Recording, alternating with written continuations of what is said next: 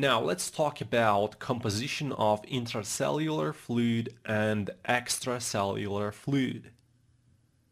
The compositions of intracellular fluid and extracellular fluid are strikingly different. As I already said, the major cation in extracellular fluid is sodium and the balancing anions are chloride bicarbonate and phosphate. Sodium creates the most osmolarity of the extracellular fluid. The major cations in intracellular fluid are potassium and magnesium, and the balancing anions are either proteins or organic phosphates. Other notable differences in composition involve calcium and pH balance. Typically intracellular fluid has a very low concentration of ionized calcium, whereas the calcium concentration in extracellular fluid is higher. Intracellular fluid is more acidic, has a lower pH than extracellular fluid. Remarkably, given all of the concentration differences for individual solutes, the total solute concentration in extracellular and intracellular fluid is the same. Therefore, the osmolarity is the same in intracellular fluid and extracellular fluid.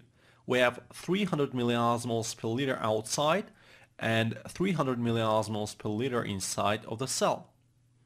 This equality is achieved because water flows freely across cell membranes and any transient differences in osmolarity that occur between intracellular fluid and extracellular fluid are quickly dissipated by water movement into or out of the cell to reestablish the equality.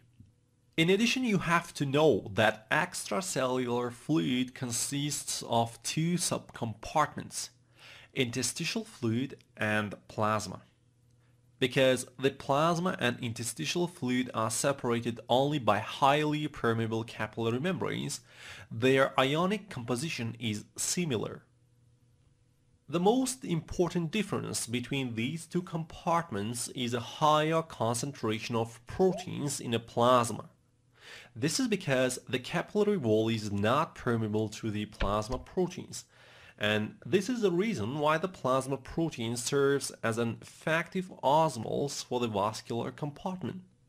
Only tiny amounts of proteins are leaked into the interstitial spaces in most tissues and then will be sucked back by a lymphatic system. Now let's talk about body fluid tonicity.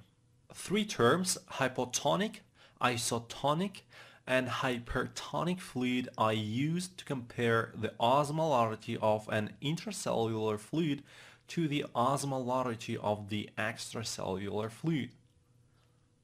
It is important to note that the osmolarity of intracellular fluid compared to the extracellular fluid, despite of having different composition, is 300 milliosmoles per liter. When two solutions separated by a semi-permeable membrane have the same osmolarity, these solutions are called an isotonic solution. Iso means the same.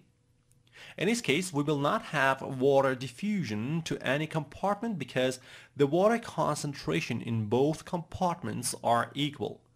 This is a steady state situation.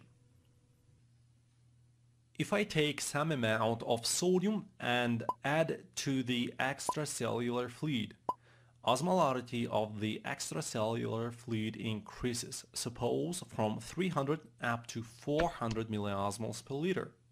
This solution now, I mean the extracellular fluid gives another name, hypertonic solution. Hyper means greater than another solution. Now two solutions separated by a semi-permeable membrane have different effective osmotic pressure, different osmolarity, 400 of extracellular fluid and 300 of intracellular fluid. Therefore, in comparison with extracellular fluid, the intracellular fluid will be not isotonic yet, it will be a hypotonic solution. Hypo means less, less tonicity or osmolarity when compared to the extracellular fluid, which now is hypertonic. In this case, the water will shift from a region of higher water concentration to a region of lower water concentration, from intracellular compartment to the extracellular compartment. As a consequence, the intracellular fluid volume decreases while extracellular fluid volume increases. Intracellular fluid osmolarity increases while extracellular fluid osmolarity decreases and water diffuses until both intracellular and extracellular fluids become isotonic, meaning having the same osmolarity and until a new steady state is achieved. To sum it up, if the osmolarity of the two fluid compartments is the same, we would say that both fluids compartments are isotonic. If one of those compartments osmolarity is more than other, then the fluid of that compartment is hypertonic fluid. In comparison with this fluid, the fluid which osmolarity is less than other is called hypotonic fluid.